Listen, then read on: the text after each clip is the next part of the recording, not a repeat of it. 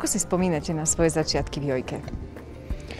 Bolo to veľmi zaujímavé, pretože myslel som si, keď som prišiel e, do Jojky, že pri mikrofóne viem už všetko za tie desiatky rokov, ktoré sa tým zaoberám. A tam som zistil, že neviem.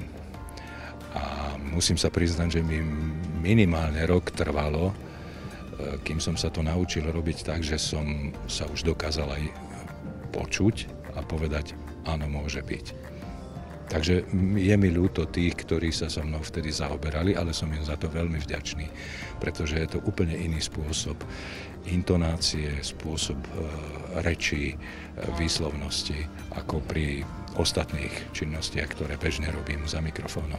Keď hovoríte, že je to iné, v čom je to iné, aby sme tak vedeli ľuďom to priblížiť? Uh, neviem, či sa to dá nejako priblížiť, ale je to o spôsobe nastavenia mysle, keď e, promujete nejaký film alebo nejaký program, nie je to ako treba, dalo by sa to prirovnať, keď načítavate reklamné texty, ale je to veľmi ďaleko od toho. Je to príbuzné dĺžkou toho textu, ale charakterom toho prejavu je to veľmi odlišné. A treba sa naozaj naučiť presne odlíšiť čo je dráma, čo je akčný film, čo je psychologická záležitosť, čo, čo je dokument, čo je komédia.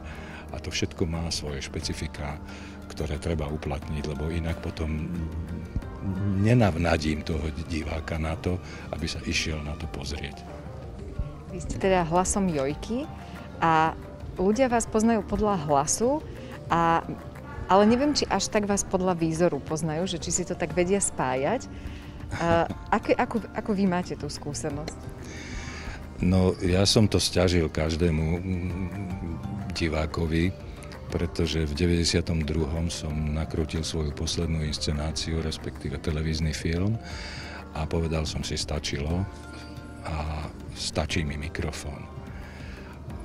Malo to viacero dôvodov, pretože ja mám dosť vážne problémy s chrbticou a pri mikrofóne nie je tak zaťažená ako, ako pri rôznych pohyboch, ktoré herec musí vykonávať, či vo filme, alebo v inscenácii, alebo na javisku.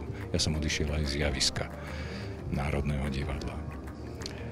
A myslím si, že lepší krok som asi v živote neurobil, že som sa skryl za mikrofón. Takže, e, ale stáva sa mi, a je to, neviem, či príjemné, či nepríjemné, sám to neviem celkom detekovať, e, že prídem, ľudia ma nespoznajú, ale keď prehovorím okamžite, to je Robert De Niro. Vy ste Richard Gere. Vy ste ten z Jojky. No a teraz to už nemôžem zaprieť, je to tak, som.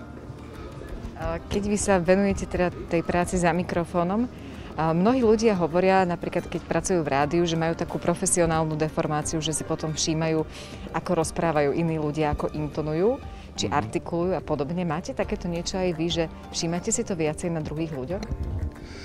Uh, je to moja profesia a ja som sa to musel krúto dlho učiť. Ja som sa napríklad uh, učil asi tak, uh, že som si prečítal celú svoju knižnicu náhlas, aby som bol schopný tzv. z blatu načítať logický text, ktorý je na tých stránkach.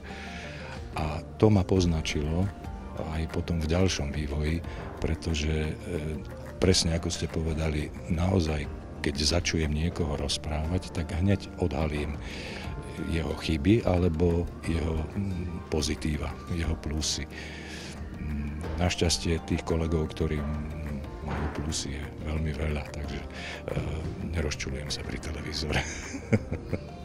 Musí sa človek narodiť s takýmto talentom? Je to dar? Alebo dá sa to naučiť pekne rozprávať?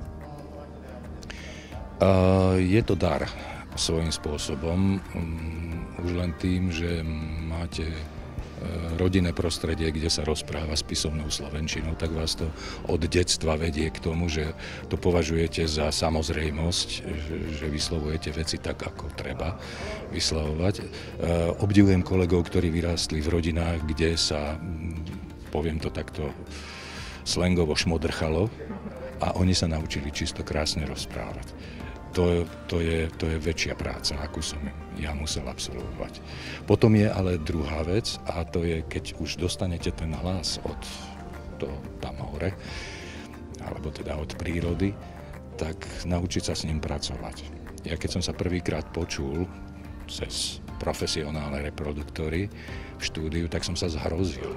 Preboha, kto to rozpráva, to nie som ja. A až potom som sa naučil vďaka tomuto, tejto spätnej väzbe korigovať hlas tak, aby som sa dokázal počúvať aj ja, nie len ostatní.